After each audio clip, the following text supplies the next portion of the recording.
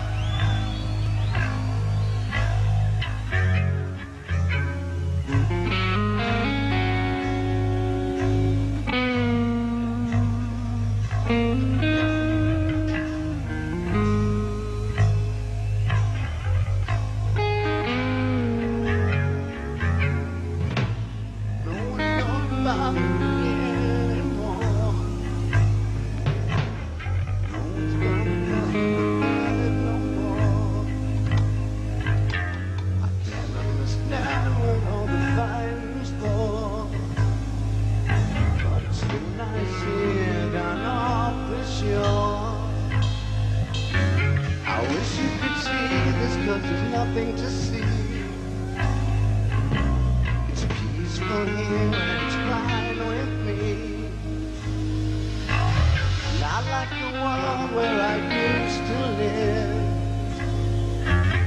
I never really wanted to live.